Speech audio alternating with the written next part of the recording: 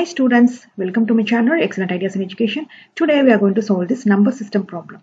If x is equal to 2 plus root 5 whole power 1 by 2 plus 2 minus root 5 whole power 1 by 2 and y is equal to 2 plus root 5 whole power 1 by 2 minus 2 minus root 5 whole power 1 by 2. Find the value of x square plus y square. We need to find x square and y square value. First, we will take a is equal to 2 plus root 5 whole power 1 by 2 b is equal to 2 minus root 5 whole power 1 by 2. You see in this x, this is a, this is b. Here is also a, here is b. This is plus, here is minus.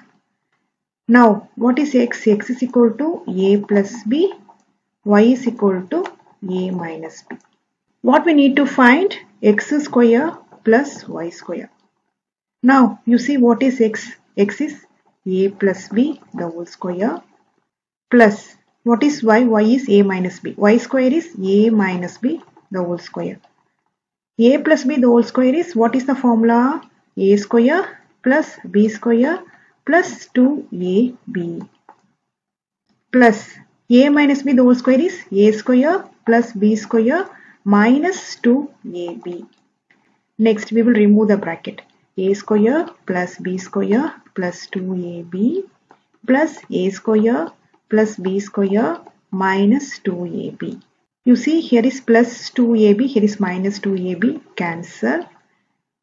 Here is 1a square, here is 1a square. So 2a square, here is 1b square, here is 1b square plus 2b square equal to x square plus y square. You see here is 2 is there, here is 2 is there, common. So we will take 2 outside a square plus b square x square plus y square. Next, what is a value? a is equal to 2 plus root 5 whole power 1 by 2. 2, open the bracket, 2 plus root 5 whole power 1 by 2. After that, here is square. Plus, b is 2 minus root 5 1 by 2. 2 minus root 5 whole power 1 by 2. After that, square. Close the bracket. Next, 2. Open the bracket. 1 by 2, 2. How you will write? This is exponential form. a power n whole power m is equal to a power n m. This one, how we will write? 2 plus root 5 whole power 1 by 2 into 2 plus 2 minus root 5 whole power 1 by 2 into 2. This 2, this 2 cancel, this 2, this 2 cancel. Next, 2, open the bracket, 2 plus root 5 plus 2 minus root 5, close the bracket. 2, now we will remove the bracket. 2 plus root 5 plus 2 minus root 5. You see here plus root 5 minus root 5 cancel.